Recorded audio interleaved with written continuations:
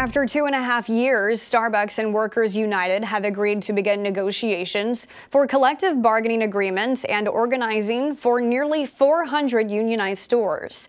The coffee chain and the union have agreed to start discussions on establishing a foundational framework that ensures a fair process for workers to organize.